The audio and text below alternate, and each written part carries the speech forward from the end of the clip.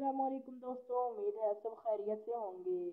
आज की इस वीडियो में मैं आपको खाना काबा के बारे में कुछ दिलचस्प मालूम फराहम करूँगा। तो चलिए शुरू करते हैं।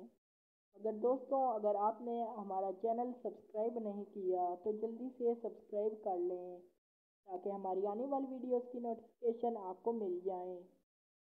तो चलिए अपने वीडियो का बाकायदा आगाज़ करते हैं। दोस्तों खाना काबा को तामीर हुए तकरीबन चार हज़ार साल का अर्सा बीत चुका है। खाना काबा की छत में कुल अस्सी कंदीलें हैं। खाना काबा को पाँच पहाड़ों के पत्थरों से तामीर किया गया है। खाना काबा की इमारत की बुलंदी उनचास फीट और अढ़ाई इंच है। दोस्तों खाना काबा की मशरकी दीवार की लंबाई अड़तीस फीट और अठारह इंच है, जबकि खाना काबा की शुमाली दीवार की लंबाई बत्तीस फीट और अढ़ाई इंच है। और खाना काबा की जनूबी दीवार की लंबाई भी बत्तीस फीट और अढ़ाई इंच है।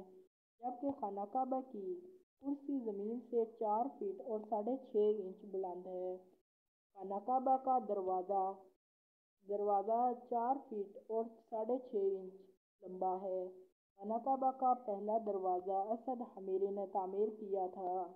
हजरी असवद खाना काबा की जनूब मशरकी सिमत में वाक़ है। दोस्तों, खाना काबा की ऊंचाई उनचास फीट और नौ इंच है। अगर आपको ये वीडियो पसंद आई हो तो प्लीज़ अपने प्यारों के साथ शेयर कीजिए और हमारी वीडियो को लाइक भी कर दें ताकि हमारी हौसला अफजाई हो जाए। आज के लिए इतना ही। मिलते हैं अगली वीडियो में। अल्लाह हाफिज़।